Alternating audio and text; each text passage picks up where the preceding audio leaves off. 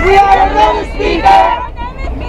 Her name is Mika. From Occupy Wall Street. From Occupy Wall Street. Here you go. There's the fun. Hi. What's up?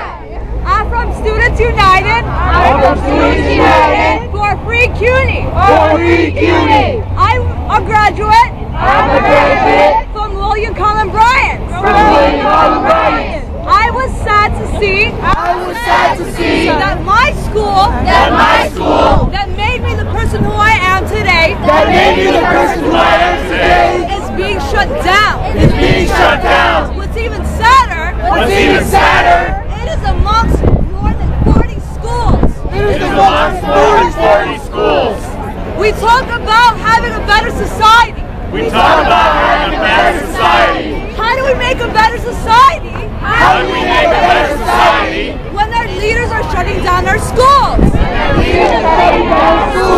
They think They think that these children that these children will amount to nothing. will amount to nothing. When they're wrong. They're wrong. They're wrong.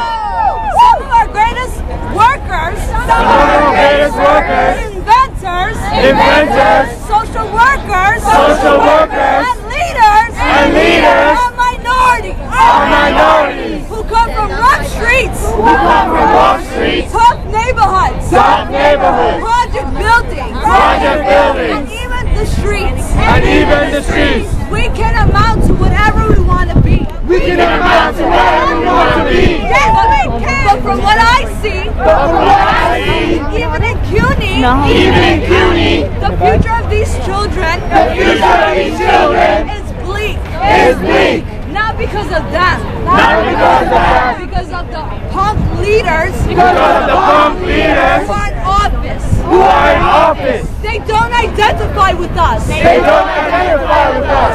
We identify with us. We identify with us. That's why this fight That's why this fight won't end. Won't end. Until our schools stay open. until the schools stay open. We get proper funding.